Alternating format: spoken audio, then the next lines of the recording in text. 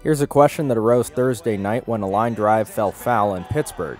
Jim brought up a new addition to the MLB umpire manual which states regarding a fair ball that when in contact with the ground, a ball must be in contact with fair territory and not merely over fair territory in order to be adjudged to be fair. So, what does that mean? While the interpretation itself isn't new and doesn't change anything about the existing definition, it just clarifies that in this situation and this era of millimeter baseball and replay review where every inch counts, when it comes to determining whether a batted ball in flight is fair or foul when first touching the ground near the foul line, the ball must actually contact fair territory, including the line itself, in order to be fair. Visually speaking, and this is why it's important for replay, a ball hovering over the line but only making physical contact with foul territory is a foul ball. So let's illustrate using our parallax angle effect. We've frozen the frame of a ball in contact with the ground, fair territory is to the left, foul to the right.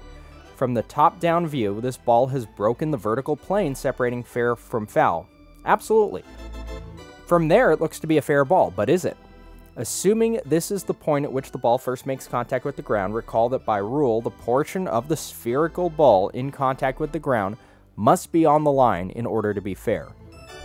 Rotating the camera, we see that no part of the baseball touches any part of the line that marks fair territory.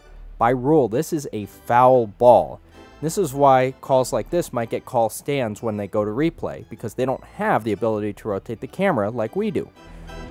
That's what the interpretation clarifies that the ball is foul unless its first touch of the ground is beyond the bases is with the fair territory portion of the field, which in other words is the line itself. It can be tricky. For instance, this one from up above looked fair, but when we get down to the surface, it's a foul ball. That's the parallax effect for fair and foul.